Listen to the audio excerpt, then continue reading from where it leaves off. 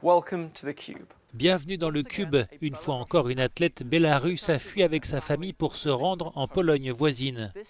Cette fois, il s'agit de la skieuse de fond Daria Dolidovic, 17 ans, photographiée ici à droite avec sa famille. Elle était considérée comme une étoile montante de son sport, mais en janvier, elle a été interdite de participer aux compétitions internationales, y compris aux Jeux olympiques d'hiver de Pékin qui ont lieu actuellement.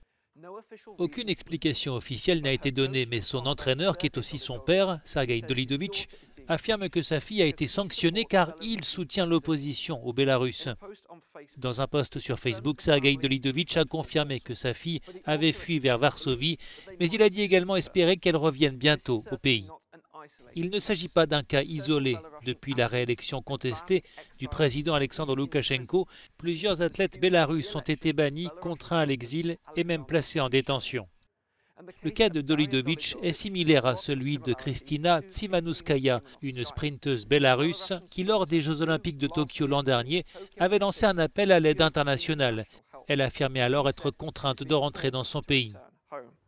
Tsimanouskaya a finalement obtenu un visa humanitaire et il est possible que la Pologne en accorde un également à Daria Dolidovitch et à sa famille, dans un pays où elle espère poursuivre ses entraînements et terminer ses études.